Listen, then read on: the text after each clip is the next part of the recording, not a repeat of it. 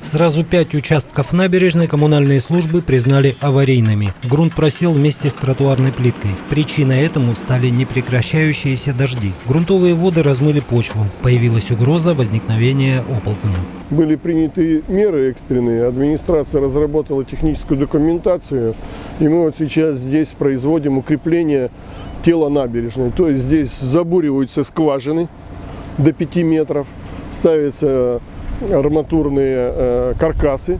Все это завязывается, забетонируется, ну и это будет служить на многие годы. То есть набережная будет стоять на месте. Несколько лет назад подобная ситуация возникла на набережной в районе санатория «Русь». Тогда специалисты подобным способом укрепили грунт. Методика оказалась весьма эффективной. Сейчас рабочие уже сделали два участка и подготовили их к укладке тротуарного покрытия. Сложность в том, что перед началом проведения работ под проблемными зонами необходимо демонтировать не только плитку, но и углубить участок на полметра. Старое основание приходится снимать тяжелой техникой.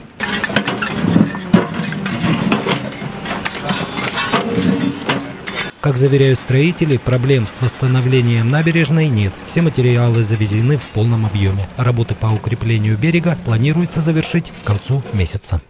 Руслан Душевский, Анапа, регион.